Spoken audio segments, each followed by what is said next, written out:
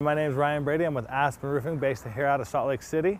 Today we're talking about utilizing your rainwater um, that comes out of your downspouts, putting it into rain barrels. Um, rain barrels are a good way to reuse the water, um, conserve on water. You know, you can use the water for watering your flower beds, um, your lawn. Uh, not, not recommended for vegetable gardens just because asphalt roofs give off a chemical and you don't want to put that into your food.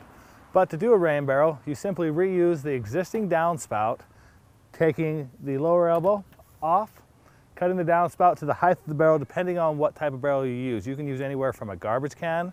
Um, they do sell custom rain barrels with spigots on the bottom so that you can access the water easily.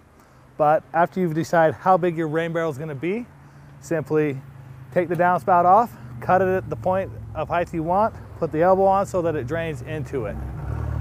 It's also nice to have a screen on top of your barrel so that you uh, don't get water or debris into your water. Again, today we're talking about rain barrels. My name is Ryan Brady with Aspen Roofing, based out of Salt Lake City, Utah.